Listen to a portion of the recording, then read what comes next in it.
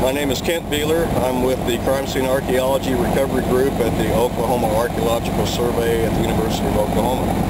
Uh, we work with law enforcement around the state of Oklahoma in recovering human remains from uh, forensic context, crime scenes and other forensic contexts, and uh, try to assist law enforcement in, in such a way as, as to uh, maximize the uh, amount of information that's recovered uh, in, in these situations.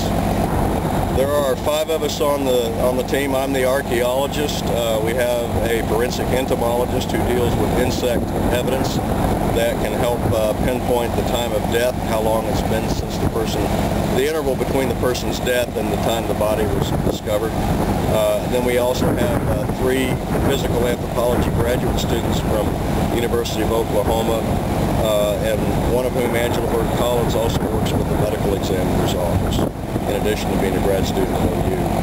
And they uh, do a lot with, they work with human bone, human osteology.